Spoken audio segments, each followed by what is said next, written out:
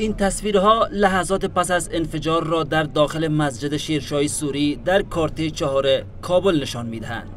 این تصویرها نشان می‌دهند که این انفجار برخواسته از مواد منفجره جاسازی شده در جایگاه امام مسجد رخ داده است. ناله ها و فریادهای نمازگزاران که جسدها را انتقال می‌دهند فضای مسجد را پر ساختند. این جوان که از باشندگان محل است می‌گوید که هنگامی که می‌خواست داخل مسجد شود این رویداد رخ داد. زمانی که از طرف آمدم دیدم داخل. صدا بسیار خطرناک انفجار داد. داخل شدم دیدم زخمی هارم دیدم شهید دیدم. رفتم داخل مسجد مولوی دیدم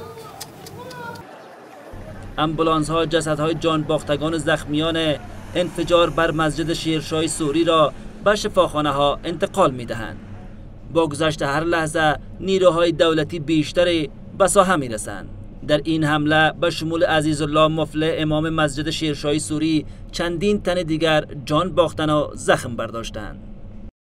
چی تدابیر امنیتی علمای ما کل کشته شد مولای نیازی اوجه شد مولای عزیز الله ایجه شد اسکرای مادکو اگر این کفر است با این کفر چه صلح است باشندگان خشمگین که می‌خواهند خودشان را به محل رویداد برسانند با موانع نیروهای امنیتی روبرو می‌شوند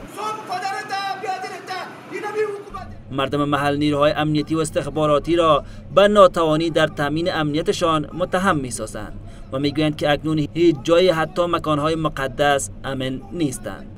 برای شرم از خدا رسی اینا مرا خود پرده تلویزیون سعی کو خانم کارت چهارت بیا مرا اعدام کو اشرف غنی. با وجود از اینکه اینا پولای انگفت اپراتیفی را می‌گیرن اما در قبال از اینکه کشف بکنن مسائل امنیت مردم بگیرن قطعا یا کار نمی‌کنن.